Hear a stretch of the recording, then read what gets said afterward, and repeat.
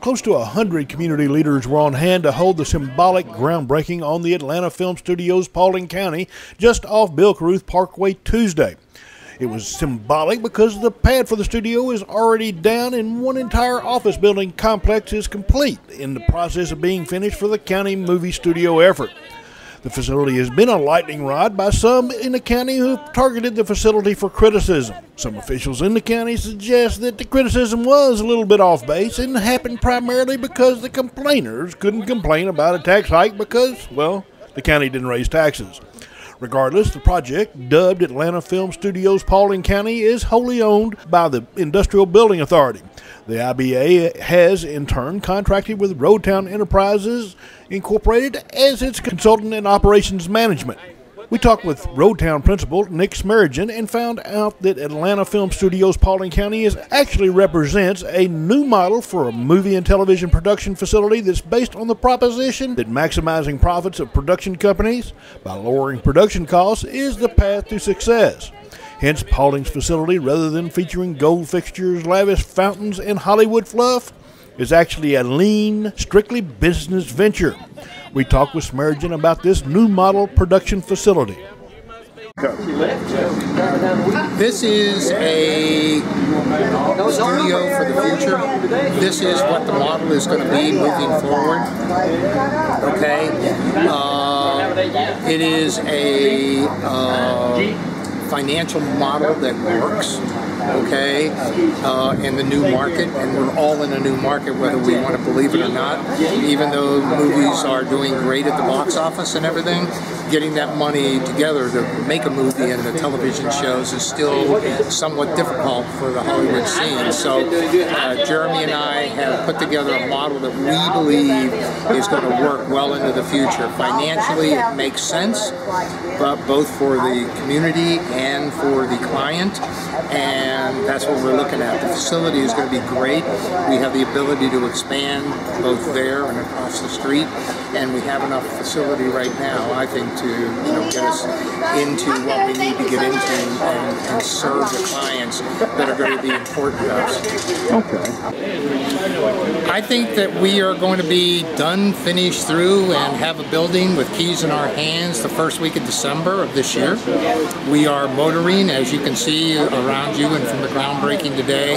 It wasn't really a groundbreaking, it was more uh, symbolic because we have a pad, we have footings, we're, we're motoring along. Uh, uh, and it's going to be really, really exciting. This building that uh, exists on the other side, uh, y'all have got that as well as this, and that's going to be for TV, I understand. No, there it is going to be production offices, mill space, and we're going to house the lighting and grip in that facility too. And the stages are strictly going to be for shooting.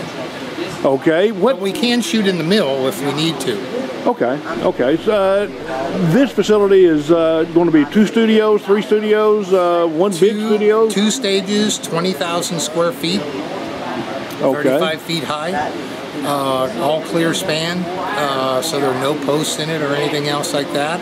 And uh, the nice thing about this kind of space is it can be what anybody wants it to be. It can be a home in London, it can be a bar in Ireland, it could be whatever you want it to be. While the IBA is the lead agency, the direction and push for this project came from the Commission. Laurie Penny interviewed Commission Chairman David Austin about the promise of this effort and its possible local impact. Here's that interview is why a movie studio?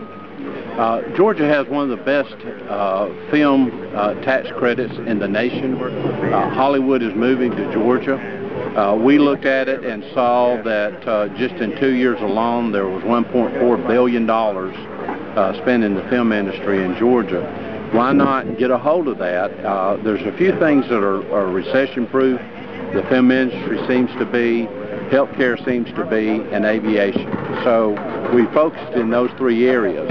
And uh, the beauty here is the film industry will use a lot of local folks. They'll need electricians, plumbers. Uh, the uh, stage is constantly changing. They'll need places to stay, dry cleaners, uh, places to eat. So we're excited about the economic impact. Uh, looking at uh, Senoia, uh, that did this a few years ago, and also Peachtree City with the filming of Drop Dead Divas. Uh, we looked at it as our wild card. So, and upon building a new hospital that'll bring 500 jobs straight down the road, and the new uh, airport built the first in 30 years in Georgia, uh, looking at tying in uh, the newest airport with the busiest airport as just uh, streamlined for the entertainment industry and the film industry. And another question that they had had was why now? We're in an economic downturn. People are very nervous about where their tax dollars are going. So why did y'all pull the trigger now on this project? Great question. Now is absolutely the best time in the world to build a studio. You're building about a third the price that you would have built it a few years ago. Uh, we were unfortunate for the original developer, but we were able to buy a business park that was in foreclosure. Uh, that wouldn't have happened uh, four or five years ago or anywhere in the future.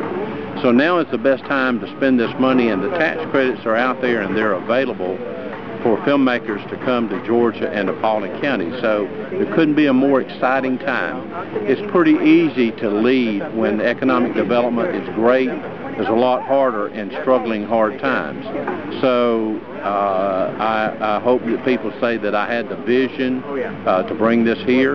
And then if all else fails, we have a beautiful building for Jamie Gilbert, our Economic Development Director, uh, to sell because we're constantly being asked for uh, uh, buildings that are available in thousands of square feet, and we just don't have that. So if all else fails, uh, and the movie industry is not successful, then we have a beautiful business park and warehouse to uh, sell for the future. And another question that they had, uh, a lot of people were curious about direct benefits to them from this movie studio and how long it would take for them to see those results. Uh, those results should be, according to uh, Nick Smerigan with Roadtown Enterprises, in December, the, the uh, studio should be ready. Uh, if you're a plumber, if you're an electrician, if you're a caterer, uh, if you're a dry cleaner, if you own a hotel, uh, you can start benefiting from this. You may even uh, find uh, to be an extra in a movie. Uh, we had several hundred people that were called in and paid to be extras in the Joyful Noise that was filmed at the Dallas Theater last year and uh, that's a Queen Latifah, Dolly Parton, and Kris Kristofferson movie. So uh, it's a chance for the people that uh, have that ability. Plus, we're starting to see Chattahoochee Tech uh, and our colleges teach to the film industry, the filmmaking, uh, the uh, uh, designated for camera and uh, operation of those products. Uh, Georgia is waiting and ready, and Paulding County is too. So immediate opportunity for employment for our local folks.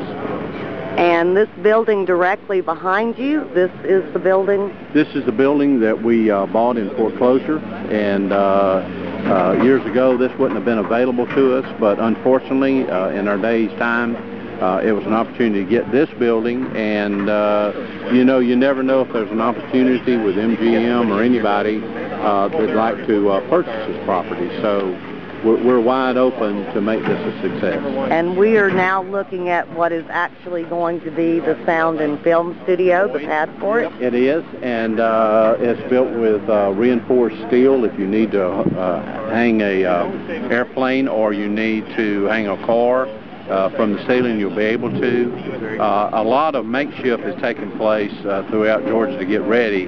And from the ground floor up, we've used Roadtown Enterprises, uh, who have produced movies like uh, The Terminator uh, and others that were very successful. So it's exciting to see this come to Paulding County.